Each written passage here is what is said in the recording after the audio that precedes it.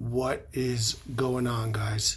So I wanted to try visualizing some audio on the oscilloscope.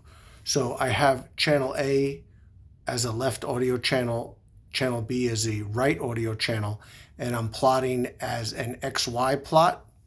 And let's go ahead and put some signal into the system. So I have my tablet here with the audio going to the scope, and I pulled up this really cool video by this guy named Jerobeam Fenderson, who makes music for oscilloscope. So let's try it.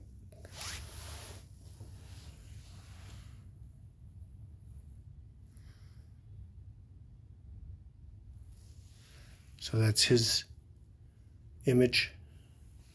And that's the image we're generating from the audio signal from his file.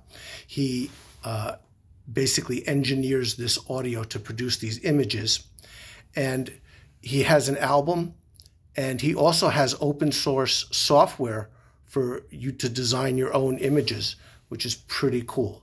So I just wanted to show that to you guys. I know this is not the usual automotive video, but I thought it was pretty interesting and I thought you guys might want to check it out. Thanks for watching, you guys.